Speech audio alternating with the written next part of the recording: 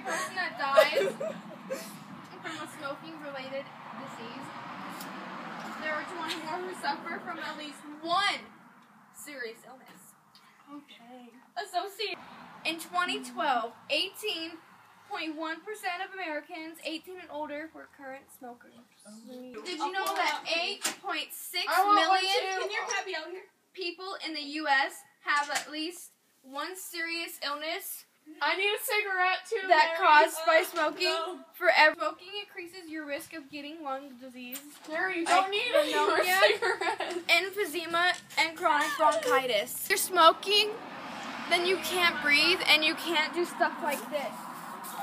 I have to talk to my friend. This is the effects of smoking. You end up doing stupid stuff like this to impress your friends You so you get more cigarettes. Okay, you guys are gonna be just like So you can have more. So instead of smoking, eat Cheetos.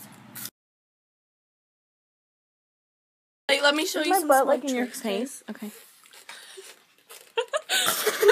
Is that a cigar? Cigarette. you just quit. Smoking is so good for you.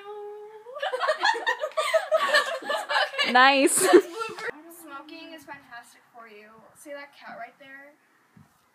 Yeah, that's the effects you get from smoking. she bites it. And did you know? So Smokey, because he was smoking and he turned into a cat. That's Oh, one of the effects. He shriveled up. Is that why? He shriveled. He shriveled. he shriveled. Not, you're not supposed to bite cigarettes. I ate mine. He shriveled. I can't even talk because I'm smoking. But smoking is not good for you then why are you smoking? because smoking is good for you. Why are you eating the cigarette? Because it's eating the cigarette is also good for you.